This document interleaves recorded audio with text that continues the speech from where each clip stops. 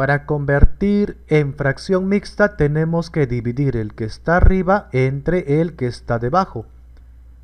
Para dividir, como este primer número es menor que el de adentro, no alcanza, por eso juntamos. Ahora, 6 por cuánto me da cercano a 59 sin pasarme. Por 9, 6 por 9 es 54.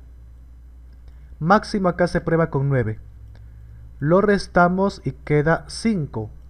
Y como ya restamos tendría que bajar un número, pero como no hay, ahí termina.